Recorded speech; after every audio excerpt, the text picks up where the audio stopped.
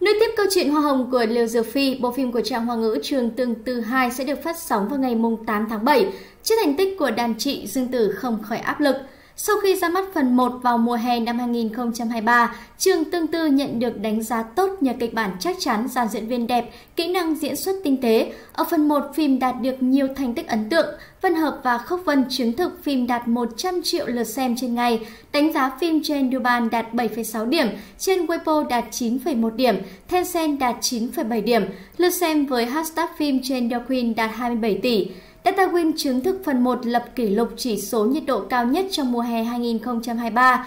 Từ khi phim phát sóng nhận được từ khán giả 84% phản ứng tích cực, 16% phản ứng tiêu cực, chỉ số nhiệt độ duy trì ở mức 2,5 điểm. Mùa hè năm nay thì phần 2 sẽ được xuất hiện trở lại với dàn diễn viên gốc, đảm bảo tính liên tục mượt mà của câu chuyện cũng như chất lượng của bộ phim. Phần 2 tiếp tục câu chuyện về Tiểu Yêu và các nhân vật Thương Huyền, Tương Liễu và Đô Sơn Cảnh cùng với những mối quan hệ và biến cố phức tạp giữa họ. Phần 2, trường tương tư khai thác các mối quan hệ phức tạp và những tình tiết mới, hứa hẹn sẽ mang đến nhiều bất ngờ và kịch tính cho khán giả. Tiểu yêu sau khi trải qua nhiều khó khăn, thay đổi sang tạo hình nữ tính và trầm mặc hơn, nàng vẫn tiếp tục hành trình của mình bên cạnh các nhân vật quen thuộc với nhiều biến cố mới đầy hấp dẫn. Dương Tử chia sẻ, 21 tập phần cuối của trường tương tư sẽ càng ngược hơn phần đầu. Trước khi phần 2 lên sóng, Dương Tử đứng đầu bảng xếp hạng nữ diễn viên nổi tiếng The Queen với 146,9 tỷ điểm, trên Weibo đứng thứ hai với 34,3 tỷ điểm.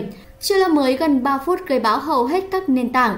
Dương Tử cho biết bản thân khá lo lắng và áp lực trước khi phim lên sóng.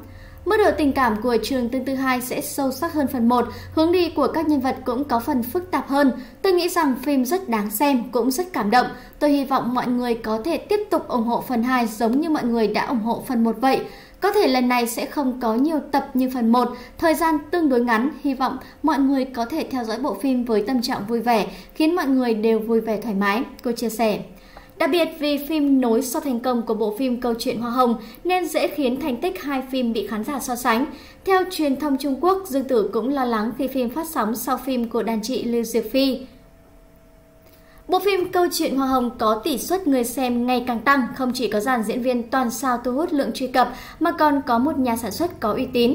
Ban đầu phim chiếu trên truyền hình nhận 1,8% tỷ suất người xem nhưng tăng dần từ 7,6% đến 10%.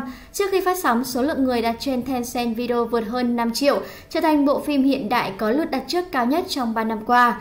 Với dàn diễn viên toàn năng cộng hưởng với sức nóng của mùa 1, chương Tương Tư 2 được kỳ vọng hot không kém phim của Lưu Dược Phi. Các bạn có những suy nghĩ gì với những thông tin vừa rồi? Hãy để lại bình luận xuống bên dưới video nhé. Còn bây giờ thì Thu Hà phải nói lời chào tạm biệt với các bạn đây. Xin chào và hẹn gặp lại.